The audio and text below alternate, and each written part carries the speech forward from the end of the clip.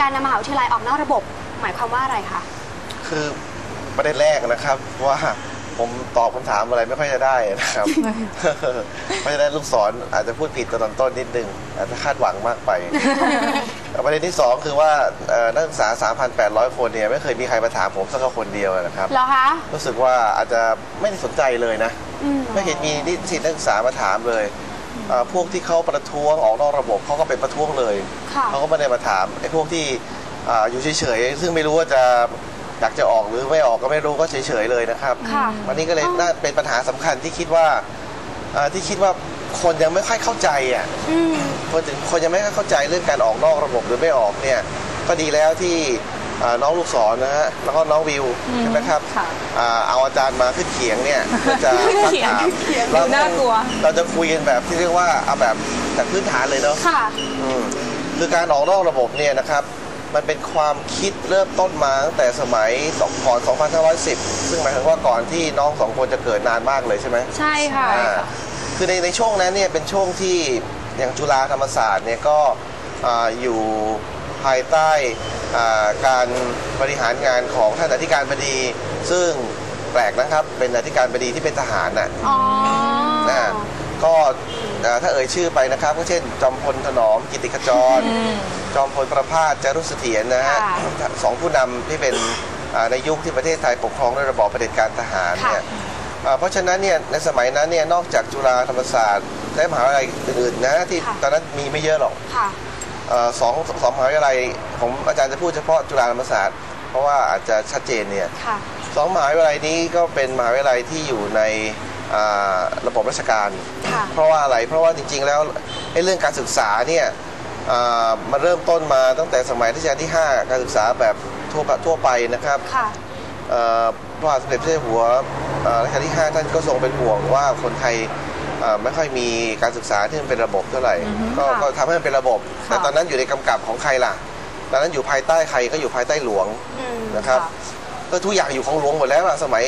สมบูรณาญสิทธิราชนะค่ะทีนี้พอพอกลับมาที่สมัยตำพลประพาสตำพลถนอมเนี่ยอ่าจุฬาธรรมศาสตร์อยู่ในระบบราชการ แล้วก็ไม่ใช่ราชการธรรมดาด้วย เป็นราชการที่อยู่ภายใต้อ่าเผด็จการทหารไงเป็นระบอบการปกครองเพราะฉะนั้นตอนนั้นเนี่ยอาจารย์ อาจารย์ของอาจารย์อีกทีนะหลายท่านที่จริง2507 อาจารย์ก็ห้าขวบเท่านั้นเองนะอ๋ออาจารย์ก็ได้ฟังเขาเล่ามาอีกทีหนึ่งค่ะลุงก็ไปเล่าต่อค่ะอาตอนนั้นเนี่ยอาจารย์หลายท่านก็บอกว่าถ้าเราอยู่ภายใต้ระบบราชการ ซึ่งระบบระบบราชการเนี่ยอยู่ภายใต้รัฐบาลทหารอีกทีหนึ่งเนี่ยค่ะไอการที่เราจะแสดงความคิดเห็นหรือว่านำเอาไอความรู้วิชาการของเรามาวิพากษ์วิจารณ์ หรือว่า ชี้แนะว่าสังคมควรจะเป็นยังไงเนี่ยค่ะก็คงยากเพราะว่าถ้าเห็นแตกต่างกับรัฐบาลทหารเพราะฉะนั้นความคิดที่อยากจะออกจากความเป็นราชการเนี่ยเริ่มต้นตั้งตั้งแต่สมัยนู้นแล้วนะฮะ2507เนี่ยแต่แต่ไม่ได้แต่ไม่ได้มุ่งที่ประเด็นเหมือนกับที่ปัจจุบันจะออก ค่ะ สมัยนั้นเขาต้องการเสรีภาพทางวิชาการอืมนะครับ ทีนี้ก็ตัดฉากแล้วล่ะ จาก 2507 เนี่ย ทุกอย่างมันก็เปลี่ยนแปลงไปเยอะเข้า 14 ตุลาค่ะนะครับรัฐบาลเอ่อเผด็จการทหารก็หายไปแล้วนะครับอ่าเพราะฉะนั้นเนี่ยระบบราชการตอนนั้นก็ไม่ได้มีปัญหาในแง่ที่ว่าอยู่ภายใต้การเอ่อควบคุมดูแลอย่างเคร่งครัดจากผู้มีอำนาจอืมทุกอย่างมันก็เสรีไงค่ะเมื่อเสรีตรงนี้นะผมเอ่อการที่รัฐมหาวิทยาลัยอยู่ภายใต้ หรืออยู่ในระบบราชการก็ก็ไม่ได้มีปัญหาเรื่องเสรีภาพค่ะนะหลัง 14 ตุลาเรื่อยมานะครับ จนกระทั่งยุคที่แบบประเภทเรียกว่าสงครามไม่รู้รู้จักสงครามเย็นป่ะรู้จักค่ะ รู้จักแอบรู้จักอยู่นิดหน่อยครับ แต่ไม่ค่อยมีความรู้นะฮะเออสงครามเย็นเนี่ยเป็นสงช่วงเวลาที่มันมีความขัดแย้งระหว่างอุดมการณ์ฝ่ายเสรีนิยมค่ะค่ะทุนนิยมเนี่ยนะครับ กับฝ่ายอ่าสังคมนิยมค่ะนะเอ่อ ในช่วงนั้นเนี่ยแน่นอนก็ยังไม่ได้มีการเรียกร้องให้ออกนอกระบบเหมือนกับที่ทุกวันนี้ ค่ะแต่แต่ตอนหลังเนี่ยหลังจากที่สงครามเย็นยุติลงแล้ว ค่ะ เมื่อเออเขาเขาบอกว่าปีหลังปี 1989 คศนะ ค่ะ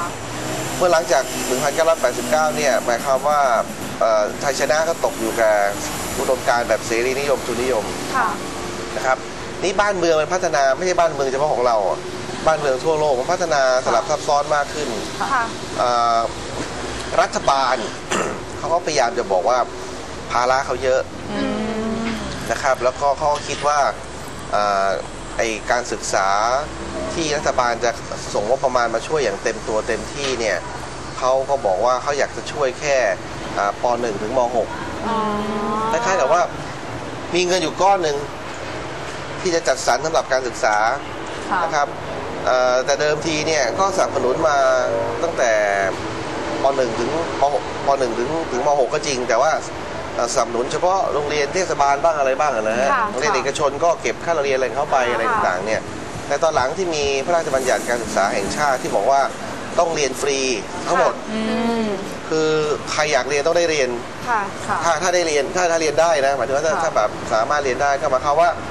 ต่อไปนี้เนี่ย ตั้งแต่ป .1 ถึงม .6 จะเก็บค่าเล่าเรียนไม่ได้ตามอืม ตามหลักการนะนะครับ ค่ะ น้องๆ หลายคนที่ดูรายการนี้ก็จะพบว่าเอ่อไม่ได้จ่ายค่าเล่าเรียนไง อืม แต่ว่าเอ่อโรงเรียนเขาไปเก็บค่าอย่างอื่นแทน ทีนี้หมายความว่ารัฐบาลก็พยายามรัฐบาลหลายรัฐบาลนะที่ต่อเนื่องกันก็พยายามจะบอกว่าเอ่อเนื่องจากมีการศึกษา10 12 ปีที่แบบว่าต้องให้ฟรีเนี่ยอือฮึค่ะ มีเงินอยู่ก้อนหนึ่ง นะครับ ก็ต้องเอามาทุ่มตรงนี้ ไอ้เงินที่จะไปช่วยทางด้านระดับอุดมศึกษาเนี่ยก็ลดน้อยลงอืมเพราะฉะนั้นอุดมศึกษาเนี่ยก็ควรช่วยตัวเอง ช่วยตัวเองก็หมายความว่ามหาวิทยาลัยไหนมีเอ่อทรัพย์สมบัติอะไรก็ดูแลกันไปเอง แต่ขณะเดียวกันรัฐบาลก็ยังไม่ได้ทอดทิ้งนะฮะยังยังให้งบประมาณสนับสนุนด้วยอ่าคล้ายๆกับว่าอย่างนี้ อันนี้คือคือคนคนที่เขาอยากเอานอกระบบนะคล้ายๆกับว่า ก็พออุดมศึกษาเนี่ยเอ่อปล่อยให้มันเป็นลักษณะที่ว่าตามความสามารถในการจ่าย ค่ะค่ะ แล้วก็เอ่อไม่ต้องไปช่วยเหลือมาก อืม แต่ขณะเดียวกันนะฮะ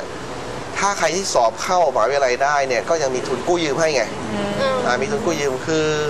แต่ว่า ไม่ใช่จะอุดหนุนกันมาก เพราะว่าต้องไปอุดหนุนน้องๆมหนึ่งถึงมหกไงอืม อุดหนุนน้องๆทั่วประเทศ ก็ทำให้คนเอ่อทั่วประเทศเนี่ยต่อไปนี้ก็มีหลักประกันว่าจะจบ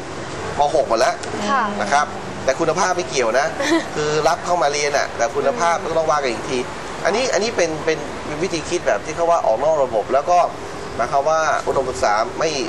คือว่าต้องให้มันเป็นจริงไง ค่ะ เป็นจริงในแง่ว่ามีกำลังจ่าย ทีนี้พอมามามาดูว่า นอกจากออกนอกระบบในแง่เรื่องว่ามันเรื่องนโยบายการศึกษาที่จะต้องไปดูแลน้องๆแล้วเนี่ยนะมันก็มีอีกอันหนึ่งก็คือว่ามันเมื่อมหาวิทยาลัยออกจากอ่า ระเบียบของข้าราชการระเบียบราชการเนี่ยค่ะมันก็จะทำให้เกิดความคล่องตัวในการบริหารงบประมาณของตัวเอง นี่คือข้อดีของการที่นำมหาลัยออกนอกระบบนี่ปาไม่รู้เขาว่ากันอย่างนั้นนะอ่าเขาผมว่ากันก็ฟังเขามาไม่ค่อยรู้เรื่อง ค่ะ ผมก็ฟังเขามาแล้วผมก็พยายามช่วยเขานะอืมอันนี้อันนี้หมายถึงว่าช่วยช่วยให้เขาพูดให้ฉลาดขึ้น ผมก็ไม่รู้ว่ามีใครเคยพูดอย่างผมหรือเปล่านะแต่ผมคิดว่าผมพยายามพูดให้เข้าใจง่ายอะว่าค่ะฉลาดขึ้นอะไรอย่างเงี้ยนะครับ ค่ะ แต่คนพูดไม่จำเป็นต้องฉลาดนะอ่าทีนี้อ่า การที่ทำให้คล่องตัวก็หมายความว่า ระบบราชการเนี่ยปกติเวลาใครเกษียณตำแหน่งอะไรต่างๆเนี่ยเขาก็เขาก็ว่ากันไล่กันตามมาปกติว่าอธิบดีเกษียณรองอธิบดีขึ้นอะไรอย่างนี้นะครับค่ะอันนี้มหาวิทยาลัยรัฐบาลเนี่ยต้องการจะทำให้มหาวิทยาลัยเนี่ยมันผู้ใหญ่พยายามจะบีบให้ออกจากนอกระบบเอ่อระบบราชการให้ได้ ก็มีการแบบถ้าใครเกษียณเนี่ยแทนที่จะให้เงินกลับมาในอัตราเดียวกันที่จะจ้างคนเนี่ยก็ก็ไม่เป็นเช่นนั้นละนะจริงๆแล้วจุฬาธรรมศาสตร์และมหาลัยอื่นอีกขนาดนี้เนี่ยจะว่าเรียกว่าออกนอกระบบไปค่อยๆออกนอกระบบอยู่แล้ว เพราะว่า